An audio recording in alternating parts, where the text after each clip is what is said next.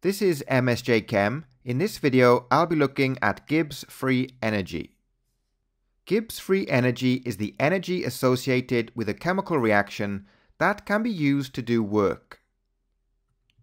Delta G, which is change in Gibbs free energy, must be negative for a spontaneous process. To calculate delta G for a reaction under non-standard conditions, we can use this equation. So in this equation, delta G is the change in Gibbs free energy, delta H is the change in enthalpy, T is the temperature in Kelvin, and delta S is the change in entropy. Next, we're going to calculate the change in Gibbs free energy for this reaction where calcium carbonate decomposes into calcium oxide and carbon dioxide and we'll see if it's spontaneous at a temperature of 500 Kelvin. In this table, we have all the data that we need to calculate the delta G for the reaction. We have the standard enthalpy change of formation values, and we also have the absolute entropy values. So first, I'm going to calculate the change in enthalpy for this reaction using this equation here, and I get a value for the change in enthalpy of positive 178 kilojoules per mole. Next, I'll calculate the change in entropy using this equation, and I get a value of positive 160.8 joules per Kelvin mole. So I'm now ready to calculate the delta G for the reaction. Here we have the change in enthalpy, here's the temperature in Kelvin, and here we have the change in entropy changed to kilojoules. Because the change in enthalpy is measured in kilojoules, and the change in entropy is measured in joules, we can either change the enthalpy to joules or the entropy to kilojoules. So in this example, the change in entropy is in kilojoules. And when we do the calculation, we get a value for delta G of positive 97.6 kilojoules per mole. Because the value for delta G is positive, the reaction is non-spontaneous at 500 Kelvin.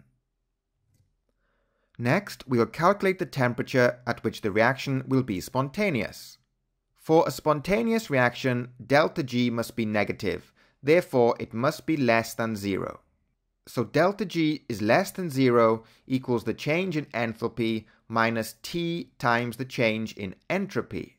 We can rearrange this equation to get T equals the change in enthalpy divided by the change in entropy and that gives us a temperature of 1107 Kelvin at which the reaction will be spontaneous. Next, we'll calculate the standard Gibbs free energy for a reaction. Because this is calculated under standard conditions, we have a temperature of 298 K, a pressure of 100 kilopascals, and all substances are in their standard states. The standard Gibbs free energy of reaction equals the sum of the standard Gibbs free energy of formation values of the products minus the sum of the standard Gibbs free energy of formation values of the reactants.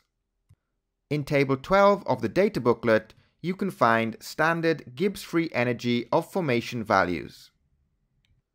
So next, we'll calculate the standard Gibbs free energy change for this reaction. In this table, we have the standard Gibbs free energy of formation values. As you can see, the value for oxygen, because it's an element, is zero. So next, we're going to use the equation that we looked at in the previous slide to calculate the standard Gibbs free energy change.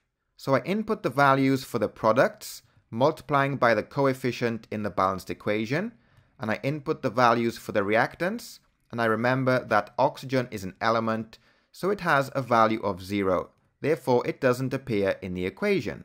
That gives me a standard Gibbs free energy change of negative 1300 kilojoules per mole. Because we have a negative sign for the delta G, the reaction is spontaneous at 298 K. So that's all from this video. Don't forget to check the video description for a link to a practice worksheet.